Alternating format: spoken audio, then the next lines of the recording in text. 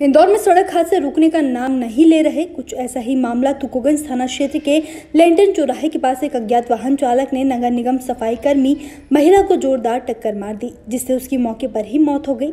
दरअसल मामला तुकुगंज थाना क्षेत्र के लेंटन चौराहे का है, जहाँ नगर निगम से अपनी ड्यूटी पर जाते वक्त एक अज्ञात वाहन निगम सफ़ाई कर्मी लक्ष्मीबाई महिला को जोरदार टक्कर मार दी, जिससे उसके सर में गंभीर चोट आने के चलते मौके पर ही मौत हो गई।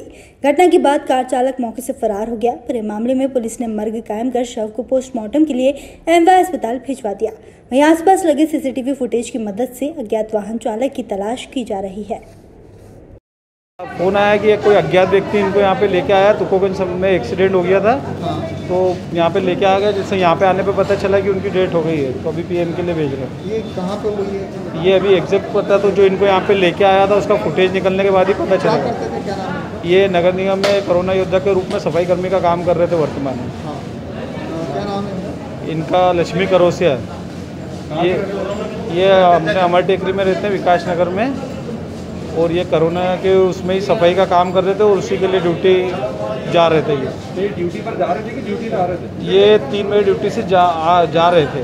कोरोना के उसमें इनकी स्पेशल उसमें सफ़ाई वफाई में अभी जो लगी रही है वो उसके अंदर है और उसको कोई व्यक्ति वहाँ पे इनको गाड़ी से मार के चले गया। यहाँ पे घर से फ़ोन आया यहाँ आने पे पता चला कि इनकी डेट हो गई। आपका नाम बताइए। महेंद्र फतोर टाइम न्यूज़ देखिए अब आपके मोबाइल से डाउनलोड करें।